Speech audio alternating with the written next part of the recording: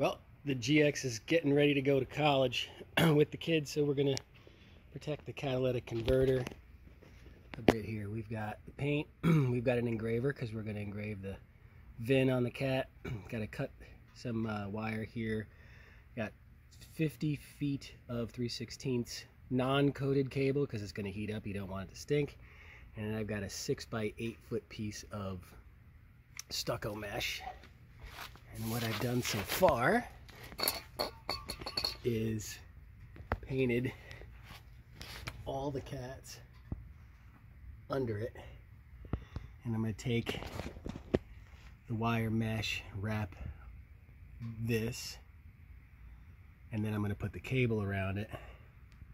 Uh, I've got $49 and change in the parts, and if anybody has ever used a Sawzall, they know that cutting through cable or even loose mesh like this when it is not fixed on something that is stable like if you try to cut a pipe it sucks. So spending 50 bucks for a deterrent because I don't want to spend hundreds on a skid.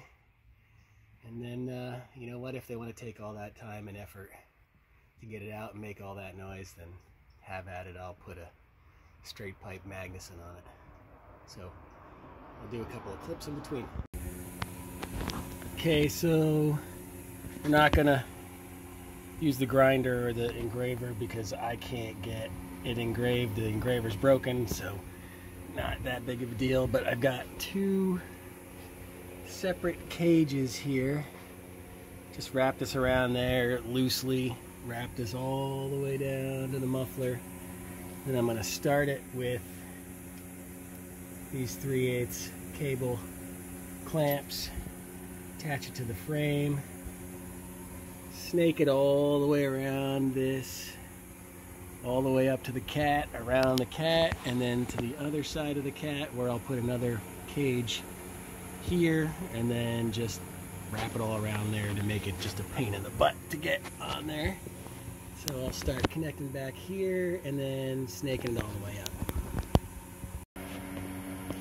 Okay, we're about an hour, hour 15 later, and everything is wrapped up in a web that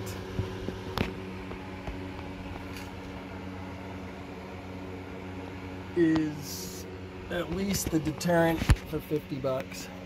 I've got cinch points here, here, here, two on the other side. So if you're gonna steal it, have at it. So there is no rhyme or reason to any of the weave. It is just 52 feet, which is exactly what it measured.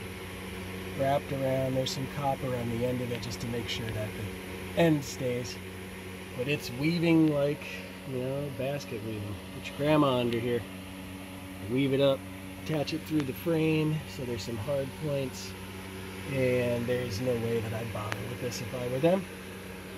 Plus it's painted. And that's really it. So, 50 bucks, an hour and a half total. And probably good.